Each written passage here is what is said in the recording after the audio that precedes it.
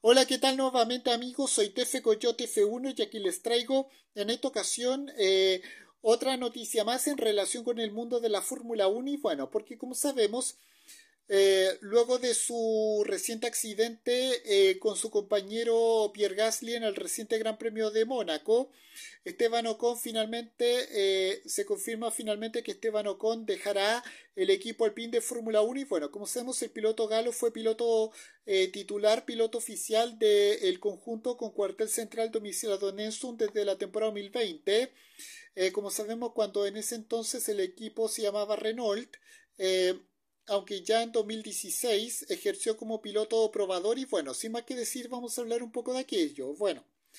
como sabemos, Esteban Ocon y Alpine separan sus caminos a, finales de la, de actual temporada 2024 Fórmula 1 poniendo fin a cinco años de unión y bueno, como sabemos el piloto galo eh, termina, terminó con, terminaba contrato a final de la actual temporada y las dos partes decidieron no, no abordar una renovación y bueno, el piloto francés con ascendencia española dio su primer paso en la Fórmula 1 junto al equipo Lotus en la temporada 2014, equipo que eh, por aquel entonces ocupaba la fábrica domiciliada en Enson y terminaría transformándose en el actual equipo Alpine y anteriormente era el equipo Renault y bueno, de hecho en sus inicios Ocon estuvo apoyado y financiado por Gravity, escuela, escuela de jóvenes talentos, eh, luego de que se escondía, eh, luego de la que se escondía otros pilotos como Gerard, Gerard,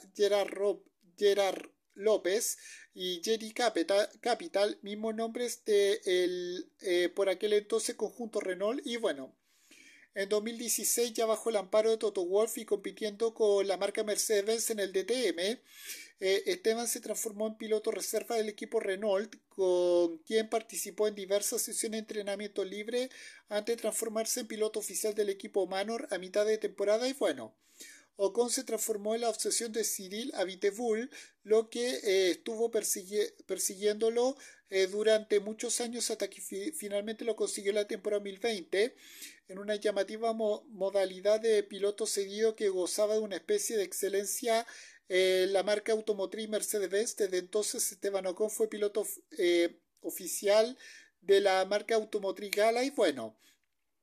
con ello Ocon consiguió tres podios incluyendo la victoria en el Gran Premio Hungría del año 2021, en la que es hasta, eh, hasta entonces el único triunfo de este piloto galo y bueno, ya desde pretemporada se deslizaba un ambiente frío eh, algo frío con eh, declaraciones que ya vaticinaban eh, que la cabeza de Esteban Ocon pasaba por un cambio de aire, especialmente una vez que fue consciente de que el A524 no iba a ser para nada competitivo. Las recientes declaraciones de Bruno, Bruno Famin amenazando con decisiones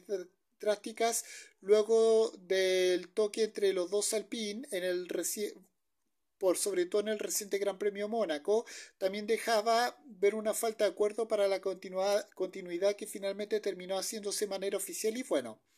En primer lugar, queremos agradecer a Esteban su compromiso con el equipo durante los últimos cinco años. Durante este tiempo hemos celebrado algunos momentos fantásticos. Eh, durante este tiempo hemos celebrado juntos algunos momentos fantásticos, el mejor de los cuales fue la victoria memorable en el Gran Premio Hungría 2021. Nos quedan 16 carreras hasta 2024 con un objetivo claro, seguir tratando incansablemente en equipo, eh, eh, seguir trabajando incansablemente en equipo para conseguir los mejores resultados en pista. Le deseamos a Esteban lo mejor para el próximo capítulo de su carrera cuando llegue ese momento. Así añadió un Cortés Bruno Femini. Bueno, eh, correr eh, para este equipo la Fórmula 1 fue un capítulo importante en mi vida. Eh, aunque he sido, he, sido, piloto allí durante cinco años, mi carrera profesional empezó en Enstone cuando era solo un adolescente, pero o sea, por eso siempre será un lugar especial para mí. Hemos pasado grandes momentos juntos, pero también otros más difíciles y estoy muy agradecido a todos en el equipo por estos momentos inolvidables. Anunciaré mis planes muy pronto, pero mientras tanto estoy totalmente concentrado en este equipo, la pista y en el éxito el resto de la temporada. Eso aseguró Esteban Ocon y bueno,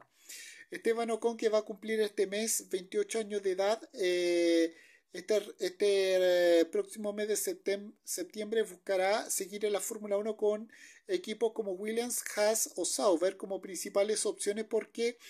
Mercedes-Benz no mostró gran interés en él eh, pese a, su, a ser el pupilo Toto Wolf, eh, aunque es una alternativa que está ahí, bueno. Esto significa que se transformará en rival directo de Carlos Sainz Jr. al momento de atar un asiento de cara a la siguiente temporada. Y bueno, con esto me despido. Adiós, que me fuera. Chao.